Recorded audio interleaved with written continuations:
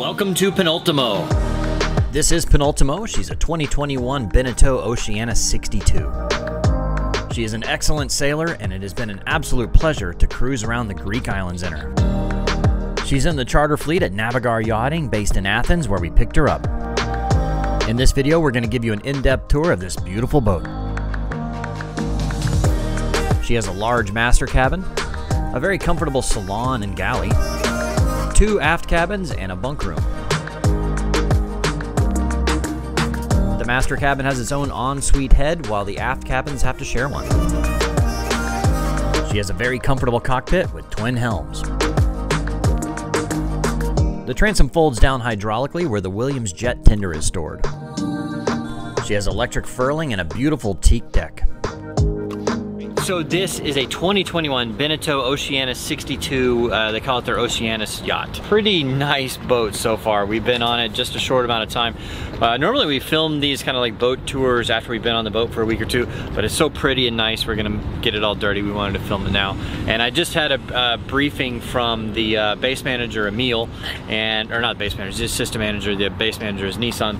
And uh, really went in on an in-depth tour, so we're gonna show you all the stuff now. Uh, so moving forward, um, it does obviously have an electric winch with half inch chain and this is uh, an electric furler for the head sail. It is a self-tacking uh, jib so uh, pretty easy to use and of course if you need it, if you wanted to, you have uh, your halyard for your spinnaker or anything you want to do there. Uh, moving back a little, the controls for the windlass are right in, ow, right in here. move. Got the controls right here for the windlass, uh, moving it up and down. And this also does have a pretty nice, um, uh, it would be a captain's cabin, and I will take you down there here real quick. There's a couple bunks in here. It's got its own toilet and shower and sink and all that and fan. And you got, you know, you can open this uh, light up here and, or a uh, port up here and get a lot of air. So it's really, as far as you know, cabin captain or captain cabins, one of the better ones I've seen, honestly. It's got the, it's pretty nice and spacious, and I honestly would not mind using this myself. Coming back, you do have the two day beds here. Uh, I mean, gosh, I can't imagine we're not gonna use this a little bit.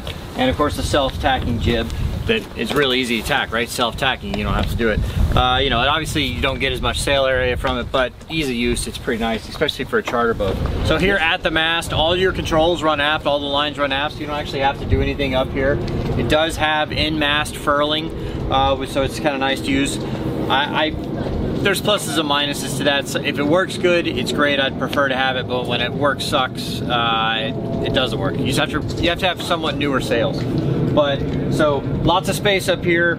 Uh, really, you don't need to come up here to do much other than drop the anchor. So we'll move back to the uh, cockpit back here. Okay, inside the cockpit and the helms here. So it has dual helms, one on each side. And unlike a lot of boats, you know, a lot of boats will have dual helms, but you know, your engine controls are on this side and your bow thruster and all your main stuff is over here. Uh, and over here you just got generally a steering wheel. But this side you have repeatable controls on each side. I can control the engine, the bow thruster, and it's got a stern thruster too, and they're really powerful. This boat will move a good way, so you can just go slip sideways straight into the dock. Really nice for handling. Carbon wheels, pretty cool, makes it nice and light. Uh, and uh, you know, you can steer from either side of the boat, really comfortable. Um, and then these, when you're underway, and lay down so they have these big seating areas and a big couch back here. It's just really, I mean, it's got to be really comfortable for hanging out on the back. Um, each side does have two electric winches and you can control the winches from either side of the boat, right? So I can control the port side winch by pushing a button right here and it controls the winch over on that side. Um, in here you just have some ice coolers uh, and some storage. Coming aft over here, your shore power plug-in is here and then you can also control your uh, passerelle, which is your gangplank. It is telescoping and it's just automatic. I can control the in and, you know, so I can, I hit the in and it starts bringing the uh, passerelle in and I hit out and it goes back out. And then I can also, let me get it out all the way first, I can raise and lower it too. Pretty nice. And then coming down here It does have uh, a swim platform that'll come up and down. I did, should have brought it with me, it's in the cockpit. But you can actually lower and raise this thing with a remote control. Pretty easy to do. And down inside here, this they call this the dinghy garage. It has a Williams jet tender that is really powerful and you use the same thing here. You open this tray up right here, you pull out the rollers and it's got a winch attached to this uh, Williams jet tender that you can just slide it out and slide it in and pretty cool. I'm looking forward to getting out and exploring on uh, the islands in this thing. It'll be really nice for getting around. And like I said, this is all hydraulic and uh, you know, control it with a button. Inside the cockpit here, uh, you know, I mean, you can easily seat 12 people here, no problem, very comfortably around here. The little, you know, if you're having dinner, these things will come out, whatever you need to do. But, and then these will fold up, you know, for cocktails or whatever you want to do. It's got little drink holders under here for your drinks. Um, I mean, just really comfortable in here. And there's lights inside the arch, and there's lights here and up up here as well, so that you have lots of lighting in here at night. And then if you need some airflow, you can open up, unzip uh, the forward little isinglass there and get some more airflow coming here. It's only supposed to be like in the mid 70s as a high this entire week, so we probably won't uh, need to worry about getting too much airflow through here. But I mean, this is just super comfortable. I'm really excited about sailing it. And uh, man, this is pretty nice. And it's got more day beds up here too, right? So pretty awesome. I know the girls are excited about it. There is a life raft under the floor in the cockpit and a grill that pops up under the aft seating area. So really impressed with the interior of this yacht. The salon is amazing. Let's start in the forward cabin, which is the master cabin, and then we'll kind of move our way back and show you everything. So really spacious uh, master cabin. You can walk around all the way in here. I mean, I'm really impressed by how big and how much space this is up in this boat, really. Uh, you have your wardrobes over here, lots of storage, uh, you know, shoes, all that stuff. Plenty good hanging locker on this side. And then on the other side, on this side, you have another really nice big size wardrobe. Really cool. Of course, you know, I mean, there's even more drawers here everywhere. Life jackets are stored under there. And then more storage under the bed as well. I mean, just so much space in here. And then you have these big side lights. Um, you know, you get, that give you just, I mean, really, it's a pretty nice view. You can open this up, and then you got your hatches right above the bed so you get airflow. And of course, more windows here to get more light in. So it's pretty cool. And then this boat has its own head. Um, and it uh, it is not, well, it does have like a little folding door so it can be a dry shower so that the rest of the toilet does not get wet while you're in here. Plenty good uh, size for the shower and the bathroom here. Uh, I'm not mad at it at all. So, you know, this place, it really impressive so far with the forward cabin. Coming aft, uh, your refrigeration is right here. You have your refrigerator, just kind of a, uh, it's almost like a full-size refrigerator freezer.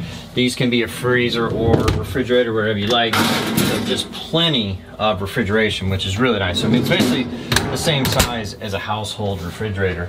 And then moving aft here, a lot of big, you know, you have your double sink right here, a really deep sink, and you can also have these little inserts that you can use for you know uh, chopping, cooking, all that. A lot of storage space here, and then you have your gimbaled stove down in here. Um, I don't want to detach it right here, but it hides away when you don't need it.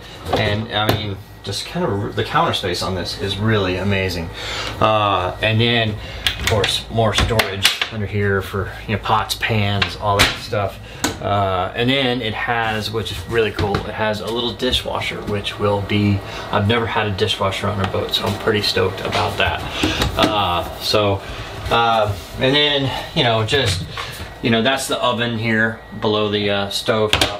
And then just more storage, just everywhere you go, pots, pans, you know, you got your utensils and cook and, and uh, you know, forks and all that stuff.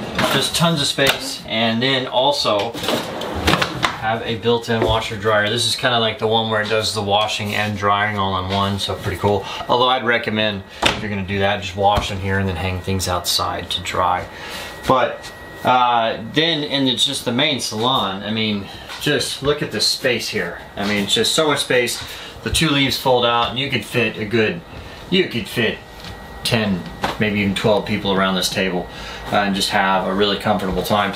And I believe this right here is uh, the TV that pops up. Haven't figured out how to make it work yet. Just so much space in here. It's so nice. I mean, for a monohull, that's, but that's what you get with 62 feet, right? And then, of course, your nav station right here. You have a repeater for your B&G. Uh, this will be my little office when I'm working.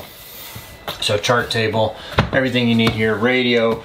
You have all your controls for your power station right here, and uh, you know you can run all your generators and turn everything on on these panels right here. Uh, so it's kind of where your monitor station, and then a repeater for your uh, stereo. Um, but just so much space in here. Really excited about this boat. Oh, one more thing that this thing has in the main salon is it has its wine chiller wine chiller really on a boat. Pretty amazing. So just really stoked about this space. I think under here is where the engine room should be.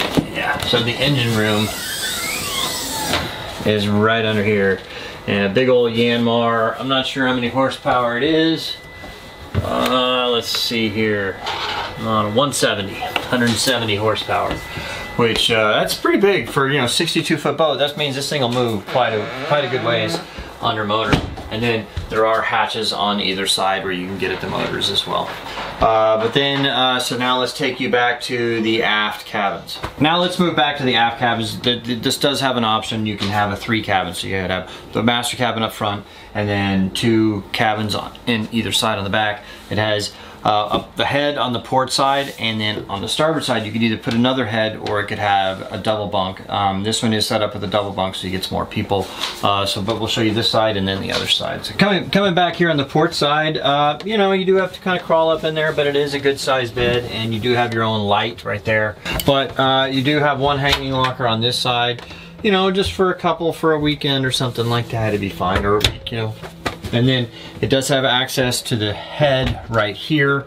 And then there is access from the salon as well because this is kind of used as the guest cabin for everybody. The head does have, you know, a separate, so it's a dry shower so that uh, it's a decent size here. And so, but it, you do have to share it with the other cabins. So on the starboard side of the boat, I mean, it's an option. You can put a head here, which is probably what I'd do. I don't think you need the extra stuff. It's set up as a bunk room for two small bunks. Uh, you know, it's not a bad size space for that, and it's got its own little closet as well. But uh, for me, personally, I'd rather have like the third head. I mean, just because, you know, I'm never gonna have more than two guest rooms occupied, but if you need it, but for charter, it's kind of nice to have. Coming aft is basically just like the other aft stateroom over there. Uh, you know, similar size and everything. The only difference is, is you have on this side, you have some generator and uh, engine access but it is pretty nice. You can walk all the way in here and you can get access to the generator pretty well. And then if you pull this panel off on the side, you can get access to the motor as well. It's actually the same on the other side. So there you have it. Uh, Penultimo is the name of the boat. She's a 2021 Oceanis uh, yacht from Navigare Yachting. Uh, it's on charter here. You can charter if you'd like. I mean, we're really excited to sail this uh, in Greece. They have a bunch of other boats as well on their dock. This is their main dock right over there. They've got a bunch of monohulls and a bunch of catamarans. And uh, there is a special right now. You get uh, the discount count, if you use the Sailing Doodles discount code, you get a discount on your charter. So if you do that, if you want to log on to their website and uh, check out the boats they have here in Greece, or they have another 13 bases all over the world, you get a discount for using Sailing Doodles. And uh, man, you won't regret it. It's pretty cool. As far as uh, they do have kind of like a charter ownership person uh, program, so that if you wanted to buy a boat like this, you can put it back on charter with them and they have a couple different programs they have their guaranteed program so you buy the boat you put 20% down and then uh, they guarantee you 9% of the value uh, per year basically return on the boat. So if uh, that helps make your payments on the boat. They do have another program if you don't want guaranteed uh, they say they average I think it's something like 12% um, is the return on your money per year.